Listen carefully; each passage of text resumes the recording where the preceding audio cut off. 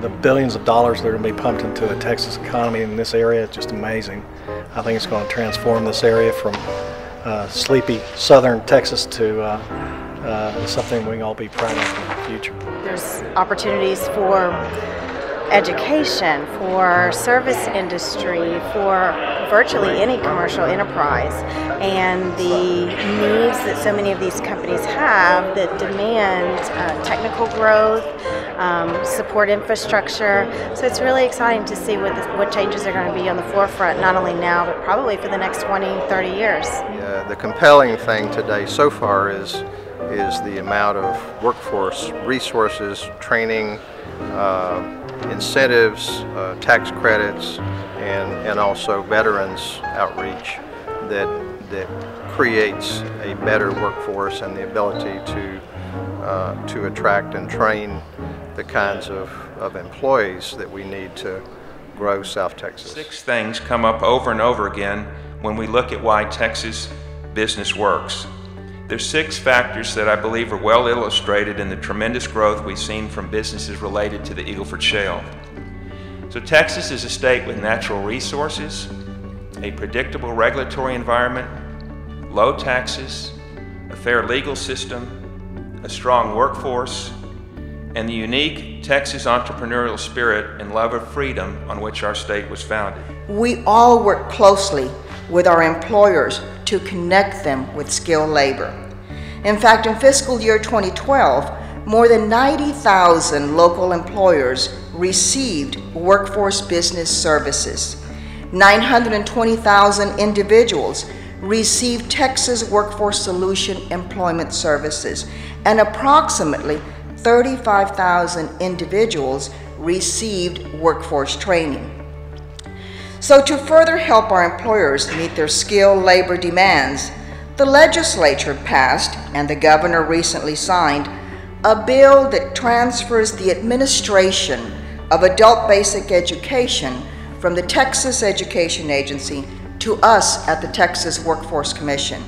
We're still working out the details of the transfer, but the overall goal will be to offer skill certifications and skill training programs with adult basic education.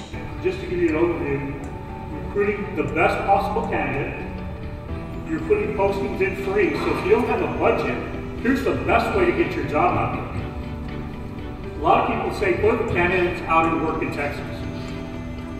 I will tell you that it's a lot of individuals who have graduated, a lot of individuals have lost their job at no fault of their own, and they have to be in the system. And it's anyone who is actually receiving a benefit from the state or federal government. One of the best things about this system is that if the individual doesn't have the skill set, you will never see them. They will never become a match for your job. The state of Texas, again, looks at veterans as, as that high target. So every job that's out there is held for 48 hours. And only veterans can see those jobs for those first 48 hours. After that, it's open to the public. A lot of businesses don't take advantage of this, but you get a tax credit when you hire a veteran. A lot of the oil and gas companies target veterans because they feel like they're the best possible uh, person to, to work for a company like an oil and gas company. They're ready to go to work. They've got a lot of training behind them. All of our member companies have dedicated veteran hiring programs, but for the sake of time, I'm only going to highlight a few that you see across all of our companies. Our military companies have been named the top veteran employers by military veteran magazines and a whole host of other sources across this, across this country. Companies like Chesapeake Energy that hired over 500 veterans in 2012 alone, and this is duplicated again across all of our companies. Our member, our member companies also have numerous military transition programs which allow our soldiers to transition to the civilian life and make it a better life for them and their family. Returning veterans, you can get them all the mental health, you can get them health care. You got to get them in, in, in certain circumstances, you got to get them into school and get the education. But at the end of the day, for them to have a truly successful transition, it is employment. And that's why we, we, we've constantly and we've shifted a large part of our effort to networking with employers and working with employers. Since July of 08, we realized one thing, the easiest you can make it for employers to hire veterans, the more that they will hire. These are some of the programs that the colleges and, and universities in South Texas are putting together to address the workforce issues needed by uh, industry. And then just finally, um, this, this relates back to small business in, in the sense that what our goal in working with communities in South Texas is to make sure that the communities are sustainable. Now, right now, it's not feasible for communities in South Texas necessarily to be able to actively diversify. They've got their hands full with the oil and gas activity.